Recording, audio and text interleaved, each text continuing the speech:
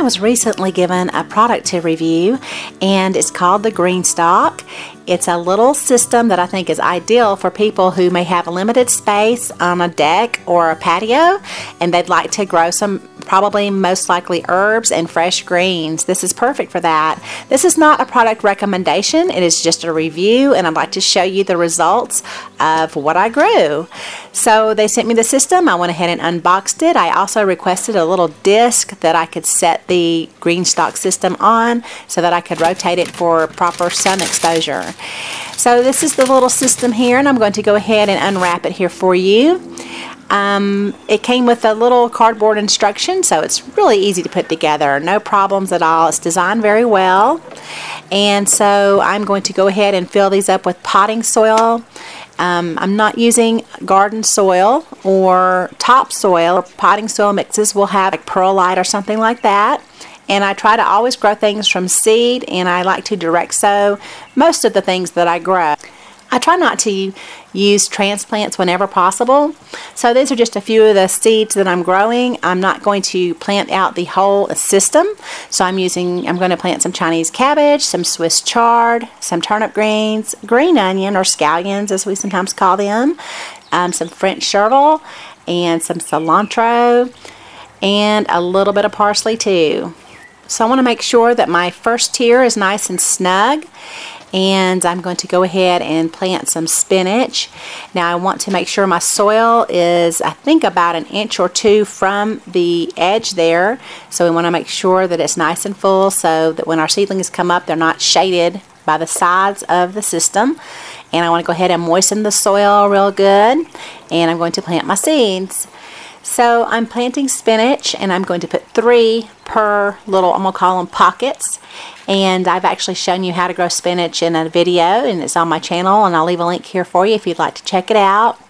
I'm not planting this whole uh, tier here with all spinach. I'm leaving some pockets empty because I'm going to plant spinach again in about two or three more weeks so that I'll have a continual supply of spinach okay? And I explained that in my how to grow spinach video that I like to what's called succession plant it.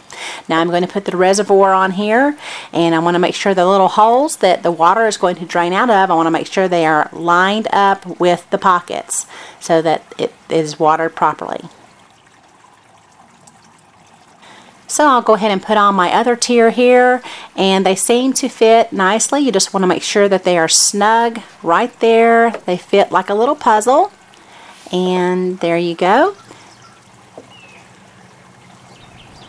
Now I'm going to go ahead and water um, the system and you just water it from the top and the water drains through the little holes on the top.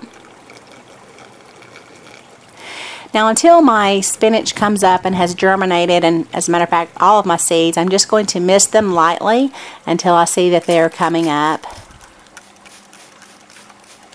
I don't want to use a watering can at this point because I'm afraid it might force my seeds too far down into the pockets and then they will not germinate.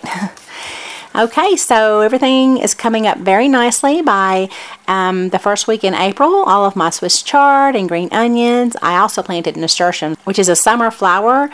So I went ahead and planted it anyway. And of course my spinach. A lot of different things were coming up very nicely. So I went ahead and I thinned out my seedlings, which I've explained that to you in my how to grow videos as well.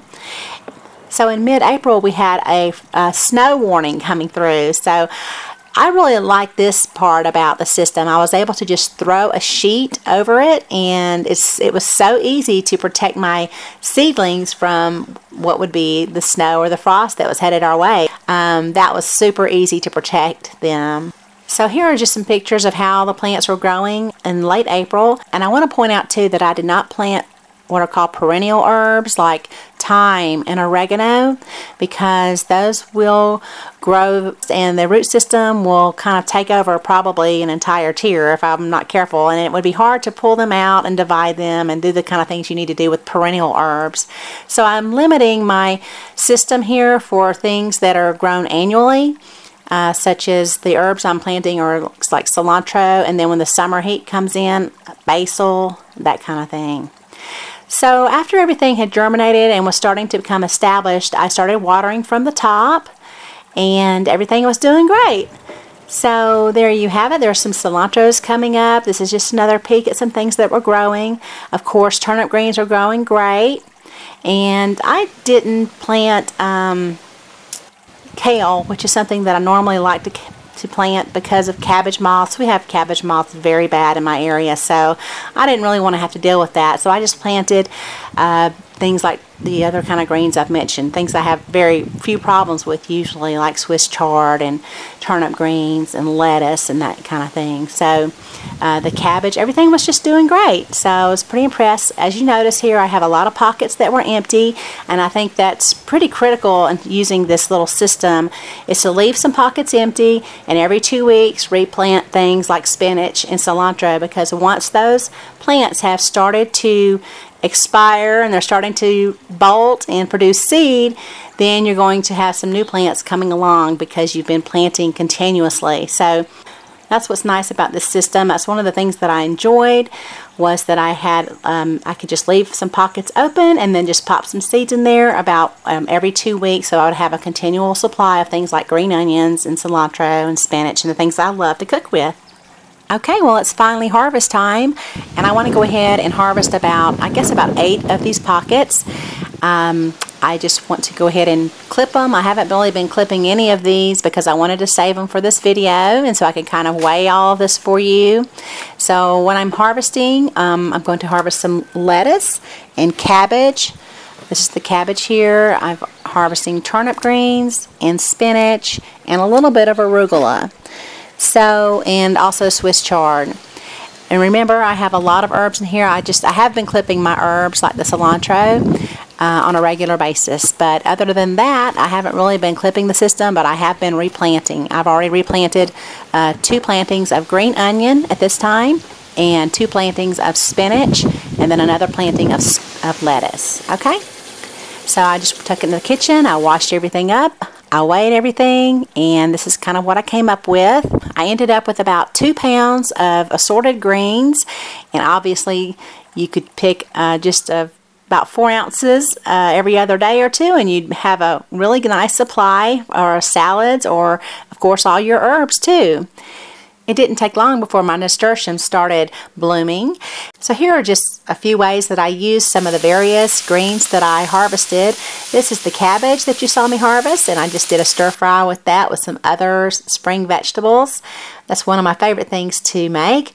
And then I also made some pasta salad with the spinach. I just put it in with some warm pasta with some smoked mozzarella cheese and some roasted red peppers and a little creamy dressing. And um, topped that with a little bit of nasturtium petals as well. And so there's that. And then my salad, I used the uh, lettuce greens and some of the arugula with some smoked salmon. This was a hot smoked salmon that I had in the refrigerator with a light dressing and some nasturtium petals. So those are just a few ideas. And if you'd like more ideas for recipes, feel free to head on over to my playlist on my channel and you will find many more recipes over there to help you along with your garden produce this summer. Thanks so much for watching and y'all have a beautiful day.